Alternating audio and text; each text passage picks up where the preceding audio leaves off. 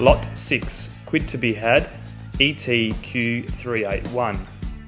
Largest growth bull in the 2021 catalogue and the final Denver Gillard combos to be offered.